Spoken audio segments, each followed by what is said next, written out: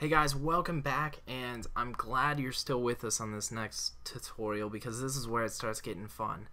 We're going to dive into the variables and the naming here, and then we'll get into the data types next, which definitely will help the understanding of what we're doing so far.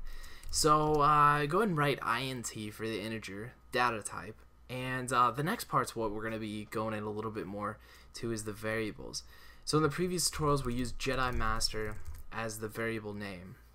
Now I quickly want to go over um, some of the standards as far as uh, naming your variables, what you can and can't do so you guys don't make mistakes early on in your programs. But uh, I guess first let's start with variable names. Um, essentially they hold a value. So as you saw in the previous tutorial we assigned or we declared our variable and then we assigned it a value. Um, so here's a little bit different than what we did in the previous tutorial but you can declare your variable and assign its value in the same line. So just to show you a little bit of variation of how to do things.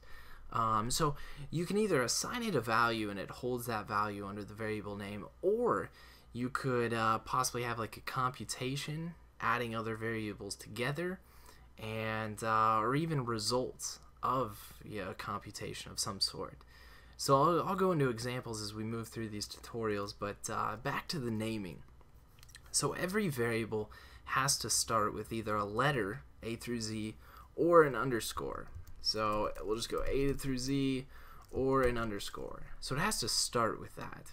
So basically what you can't do is have a variable that has maybe a 4 to begin your variable name and then you simply type something, you know, 4 4. Nah, you can't do that. It's got to be 4 um, 4 whatever. So it just basically has to start with a letter or an underscore and then the, we'll get into the second part here. Now just to note you could be a capital A or a lowercase a. There's no restrictions as far as that goes. Now uh, and then it can be followed by there's there's a few stipulations here. It can be followed by any combinations of letters either upper or lowercase um, an underscore or even numbers in this case. So as long as you have one letter in there, it can be followed by whatever you want after that, as long as it's 0 to 9. So let me go through a few names that would work, and then we'll go through also a few names that wouldn't work as you guys are developing your variable names. So we could have like a a star, we could have a Jedi cross, we could have a lightsaber,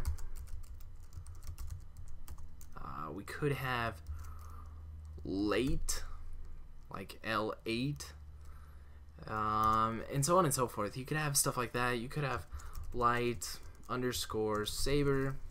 So those are all valid variable names based on the rules that they have within the C programming language. A few that you couldn't do um, would be like 8 sabers uh, because it has the number in front. Another one that you couldn't do would be like uh, light saber with a space. So the C language doesn't like the space within there.